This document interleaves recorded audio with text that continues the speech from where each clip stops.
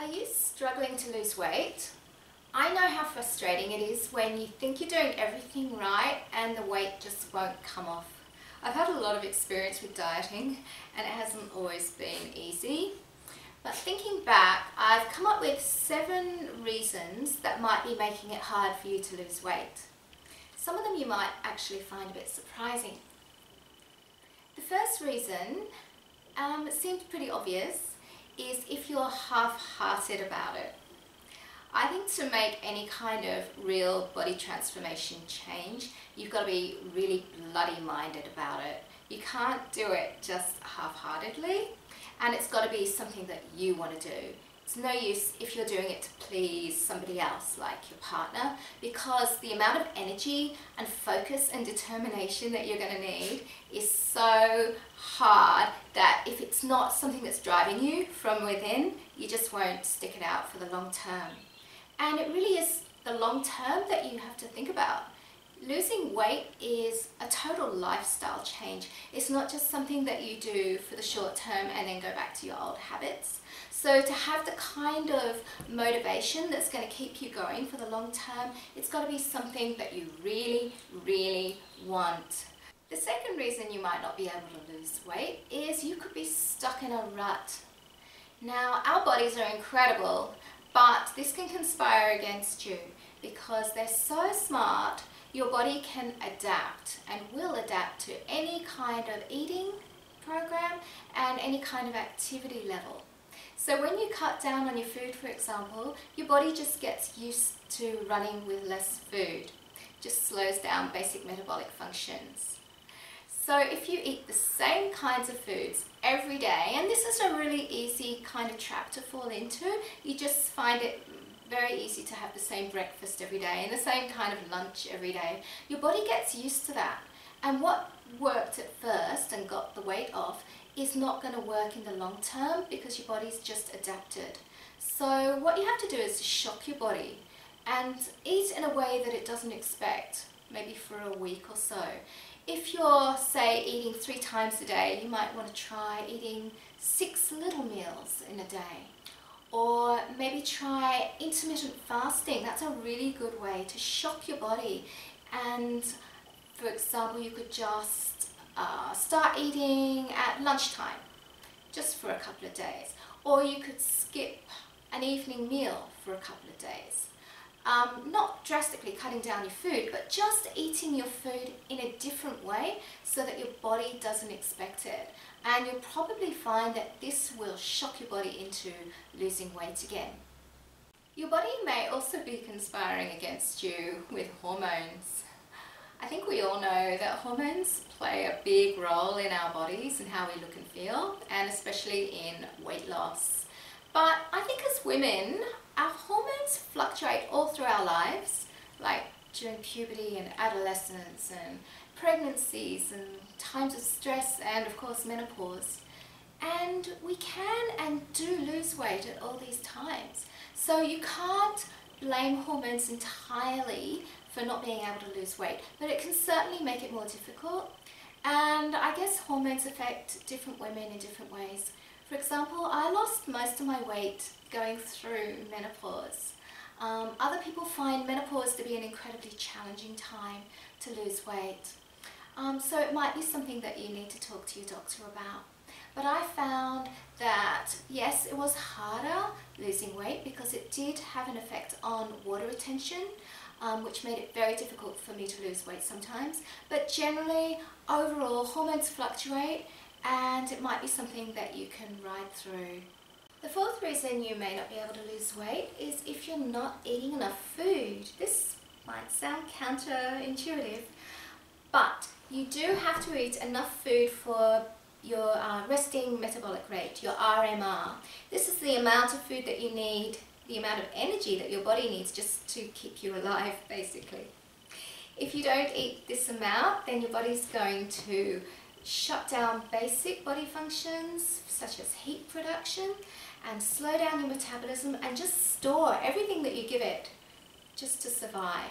So you need to eat at the very minimum your RMR, um, which in most people is about 1100 to 1200 calories That's the amount of food that you would need if you were on a drip lying in bed 24 7. So never cut down below that amount. Um, and if you find that you just can't lose weight and you don't feel that you're eating all that much food, try increasing your calories by maybe 100 to 200 for a week and that might get things moving again. In a similar vein, the fifth reason that you might not be able to lose weight is if you're overtraining. Overtraining can be as bad as doing no exercise at all, especially in conjunction with undereating. This was a big problem for me. I found that when I did seriously over-exercise, doing several hours of exercise a day, I couldn't lose any weight at all. It was only by cutting way, way back on my exercise that I was able to get the weight moving again. It's all to do with your body going into survival mode.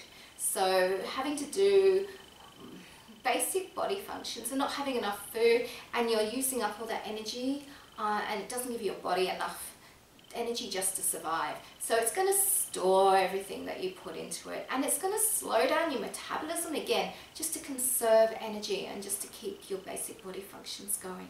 So don't over-exercise, it's counterproductive to losing weight. It's not going to make you feel any better you'll feel a whole lot better doing less exercise, eating a more moderate amount of food as well. The sixth reason that might be stopping you from losing weight is a food downfall.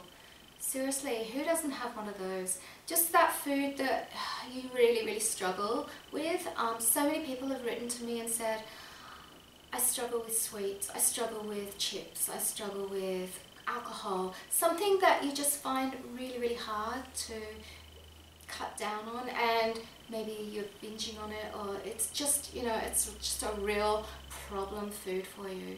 And even if you're dieting really well and you're sticking to everything, if there's one food that's your, you know, the undoing of you, that can really impede on your weight loss.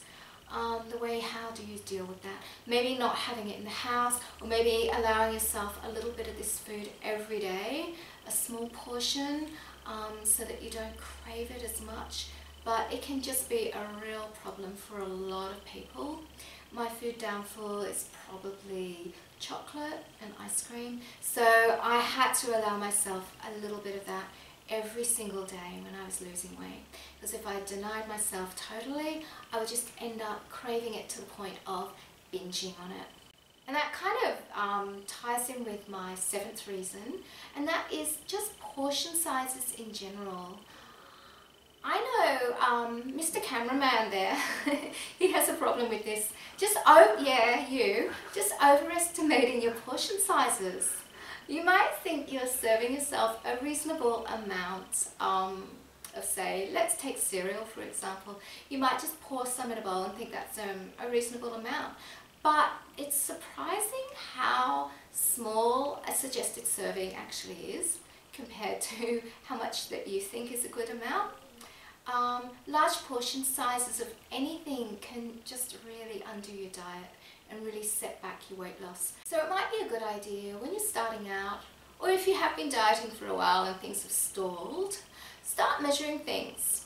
Get those uh, little kitchen scales out that do small increments and weigh out a serving size of cereal or a serving size of rice or ice cream things that you can then eyeball and you'll be able to have more of an idea of a, a, a, sensible portion and you might find that that will get you back on track to losing weight again.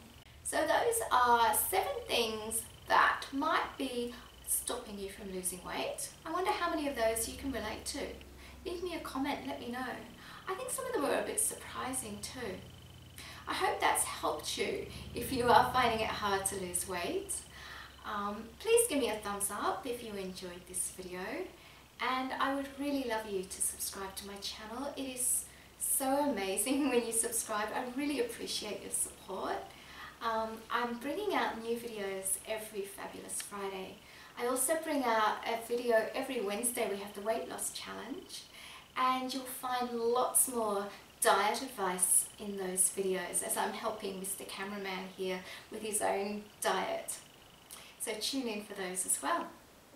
So thank you so much for watching and I'll see you soon. Bye.